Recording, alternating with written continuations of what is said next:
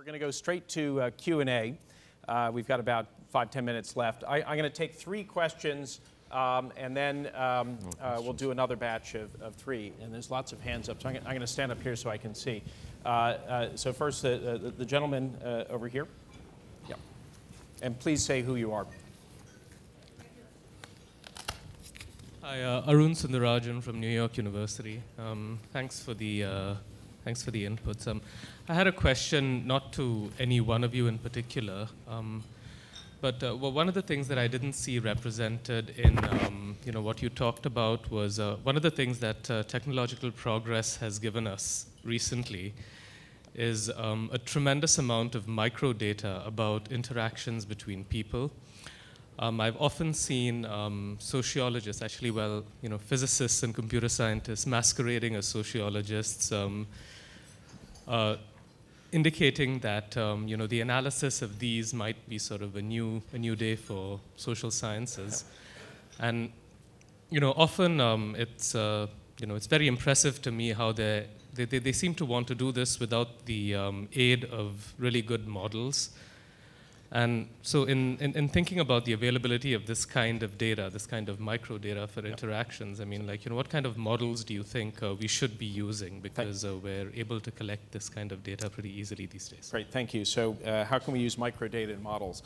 Um, Lord Skidelsky. Yeah.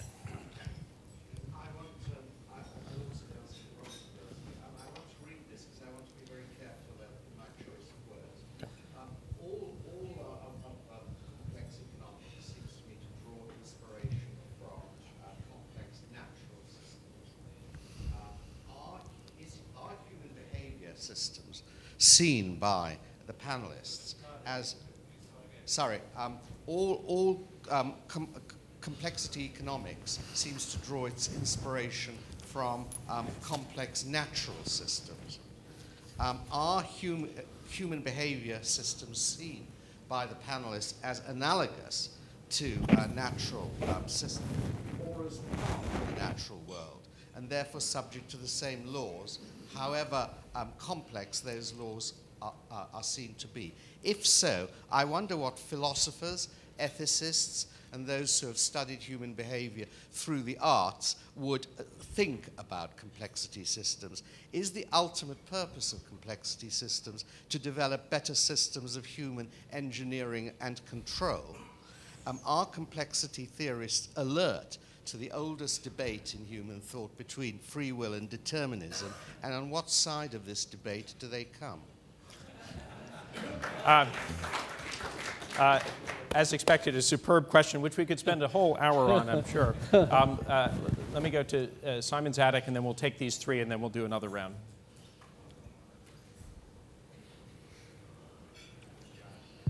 Yeah, I have uh, Simon Zadek. I have somewhat of a plumbing question, I suspect, uh, which is it, it's always struck me in looking at the work in this field that it's, it's an incredibly data hungry area. Um, and yet, the actual problems that we try and solve often, and there are some notable exceptions, are almost entirely devoid of large sta stable data sets. Um, and, and so I think the question is, and Ian, I'm sort of reflecting a little bit on the discussion we had yesterday uh, over dinner. Uh, you, know, you know, how can not just the conceptual thinking, but the methodological modeling and predictive capabilities be most effectively used from this paradigm in situations where data is scarce and relatively unstable? Right, thanks. Um, I, am actually, I'm going to start with uh, Lord Skidelsky's question. Who, who wants to volunteer for that one? Ian, you're very brave. Um, what can we learn from nature? I think the sorts of work that Andy Haldane and Bob May have, for example, done, and in the most recent issue of Nature, there's, there's a good example of that, uh, is really instructive. So there's a lot one can understand from natural systems, the way they build resilience, uh, and the way that evolutionary processes have enforced uh, resilience across natural systems. There's one critical difference, of course, is that those systems are evolutionary over periods of millions of years. And we're in a, in a process here where we're trying to prevent crises uh, within weeks or decades. So um, that's, that's a critical difference. But I think there's a huge amount to be learned. And one of the things we really do need to do is learn not only from natural systems, but some man-made or man-spread things. Pandemic, for example. How do you manage the spread of pandemics? What's the sort of interventions? How do you get early warning signals, etc.? So there's an important thing around that. If I may just quickly also address, I'm not going to answer your question on free will, will versus determinism, uh, but I think you're absolutely right. We need a philosophical conversation. On the, on the microdata and data deluge um, question, the, this paradox, there's a data deluge and there'll be more and more of a data deluge. And one of the things we're trying to understand is how do we learn from other systems that also have data deluge. That's why we, for example, have cosmologists.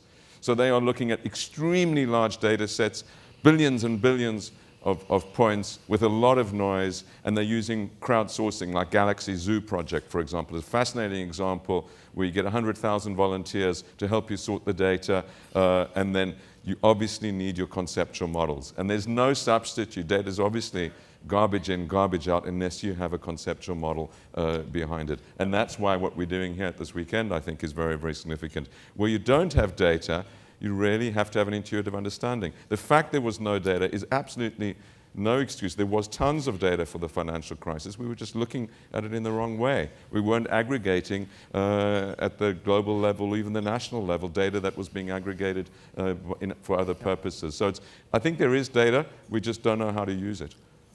Right, now uh, we're, we're getting the time up assigned, but because I know everyone's going to be so efficient because there's so many economists in the room and getting to the next session, I'm just going to let us overrun for a few minutes. I'm going to let uh, have Brian come in. We'll take one or two more questions and then we'll, uh, then we'll break. A quick comment on data, and that is um, two questions were asked, and I think data are very, very important. Uh, this uh, area of complexity right across the social sciences and into engineering and so on, is very heavily driven by looking at data. We have Doyne Farmer here in the room, and uh, a great deal of Doyne's research and many, many other people's research is taking large data sets and seeing uh, how we can understand the behavior that gives rise to such data. Uh, so I think this area is very much data driven or empirically driven, and I think that's a very good thing. I just loved the question that Robert Skidelsky asked.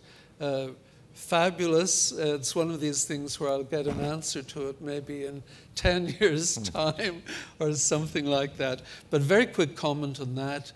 Uh, all the sciences, I think, are changing from uh, viewing physics as their primary inspiration to viewing biology uh, as their primary uh, set of inspirations.